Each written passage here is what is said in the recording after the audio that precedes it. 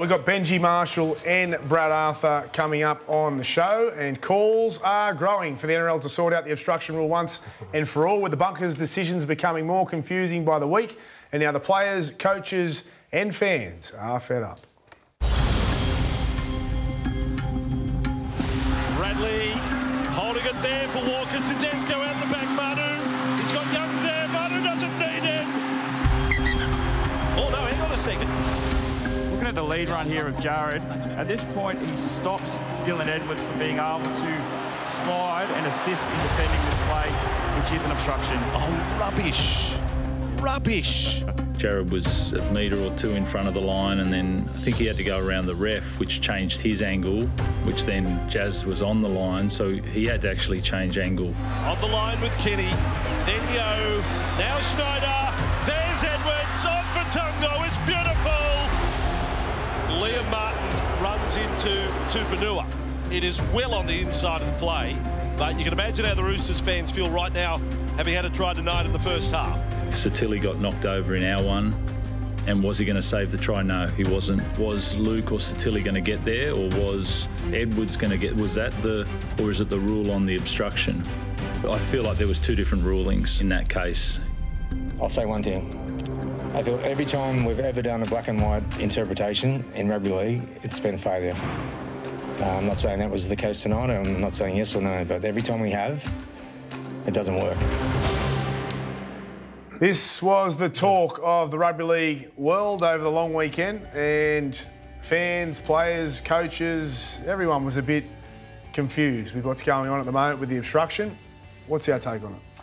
Well, I- I'm confused, uh, and I don't know the answer, to be honest, Braith. Like, the problem with people saying now, let's go to, to discretion, is that I might think the, the fullback was going to get there, but you might think he did. He wouldn't. Hmm. Now, who's to say who's right? So that's why they brought in the black and white interpretation. The players know the rules. I'm happy with black and white. I think Ivan's right, okay? It, it doesn't work, but either does discretion. It doesn't work either. Because some people will sit in a pub and say, he wasn't going to get there. They were clear as a bell on the weekend, okay? Yes. But, but if you slide, for example, The um, Jake Trbojevic one, right? No. When he comes Look, back through the on. middle, like when Tommy comes back through the middle, if it's a really good defender, he might get across there. If Dylan Edwards was an Olympic 100 metre finalist, he wouldn't have got to the corner to stop that, Buzz. Joey We just said Manu. that. Yeah, but what I'm saying to you is that's where you need discretion. You can't be black and white. Nothing in rugby league's black and See- white. No passes the Buzz, same. okay, ca- listen to me then. Okay, so... So that was obvious, Kenny, so you use your discretion. Okay, well, let's get the picture up here for a second, all right? And let's put Dylan Edwards three metres closer. Does he get there? Right? If he's three metres further across the road, r- across the, the play, does he get there? It- yes or here, no? here it is Yes here. or no? Okay? Three metres, does he... Four metres closer, does he get there? If he's But- five but- metres but- closer... but you're, you're does- doing a who's to decide? hypothetical. We're That's what discretion is. But I'm talking about that incident. It was a terrible decision that should have not have. We agree with it. They- we agree they- with they but admitted that's they got the- it wrong too. But that's Yeah, the rule but as it's that- currently written. It's not. The bunker has discretionary power. To uh, Graham Annesley said, said that. He did and they say need that, to use it on the pl- particularly bad ones. There's they been, have to. There's been calls for an ex-player to go in, into the bunker, and, and you'd have to get a highly respected. One who's been around forever. I'll be honest, we've seen what the ex-players have done to Dally M's. So, That's my, but my point is, you don't just throw any player in there. Someone you pay them good money. They're the number one. You they probably get a couple of them, and they go to the game. Is that is that an option? There's been talk about that over the you, weekend. you I know what, think so. guys? You say no. no. Kenny, most of them. Because I don't think you need to be an ex-player to, to, to be able to look at that and say whether you, You think can- that's a you try probably or can not. have more of an but- idea. but- The black and white rule means you have to be a certain metre away from the play. You can't do it and Dylan. No, no. Well, well, well. I can put the play. No, no. So it's like you can't be within 10 metres. That's black and white. You can't be within so many metres of the kicker. You know, you can't run ex- You know what? escorts. Rugby league started going down a bad path when we started applying discretion to rules. Is he back 10 metres or is he back 9 metres? When we start saying, is that forward or not forward? When we start applying it, it doesn't make it any better. It doesn't solve any problems. It just changes the point of the I argument. it does. It cha- I nearly turned the television off. The, I was that Well, we filthy. yeah, no, I was that filthy, caddy, and I don't follow I either get it, side. Buzz, I get hadn't it. had a bet, but the bunker is ruining the game, making pathetic decisions like No, that. they They are. make, no, no, Actually, I'll no, no, They make- are, Gordy. They make some great decisions. All those, all That those was tries, terrible. all those tries we see, and we don't know whether they get them down. They get a lot of those right. Look, so give them some praise. They need a summit. They need to do something. The week before the Jake Turbo try, Summit right? on on on the bunker On and, and, and the, yeah, they, they need to do something. The Parramatta defender last week ran straight at Jake.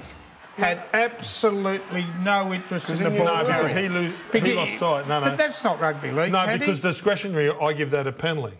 Because Jake stopped in the line, and if I'm But that's coming not across, rugby league. if I if I'm coming Every across as a defender defender now no, is if I come chasing across- the decoy to try to create a collision to stop But the play. Jake stopped in the line. Who do you That's not then? rugby league. You're right. I mean, it is happening. I a lot. told you, I, I, wrote. I wrote my solution on the weekend. Start finding the coaches who are exploiting the rules.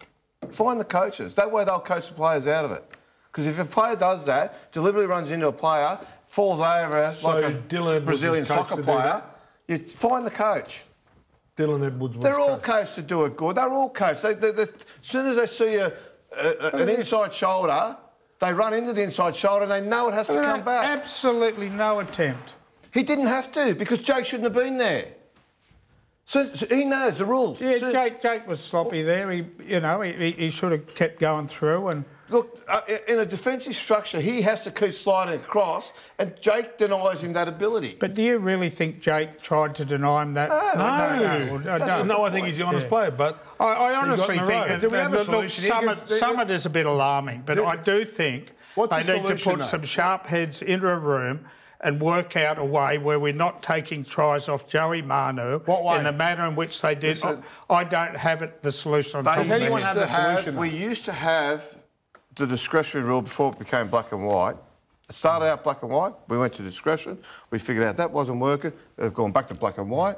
Now everyone wants to go back to discretion. This is so so rugby league. That's what we do. That's three more years. We'll be. Let's go back to But black and white. Kenny, everything else in the bunker's discretion. When they do Look, a the whole- captain's as call, said, it's just- an opinion of it's the opinion of someone in the bunker about whether the ball went forward or backwards or in a high leap. It's Well, you're discretion supposed on to everything. See it in the video bars. You're supposed to see it. They're supposed to be Yeah. ruling on what they see on the video.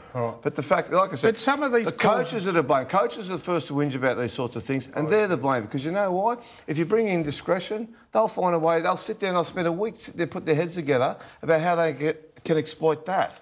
That's what they do. It's the coaches that are doing this, and it's a cynical move by the coaches. And the NRL either needs to get the players in, coaches in, and say, Hard "Listen, one you to guys." prove. Hard Hey. one to prove it's deliberate. What? No, it's not. Ask a It is, coach. I'll tell you yes. That's Yeah. how easy it is to prove. Mm. I love the idea of a summit. The summit oh, sounds very serious. Well, I think Yeah. it's a serious issue because I think there's people like me who got the shits and, and nearly turned off the other night. Don't swear on TV, please, Buzz. I've heard Let's Candy use that word. so That's- he's, do he's throwing you under the bus.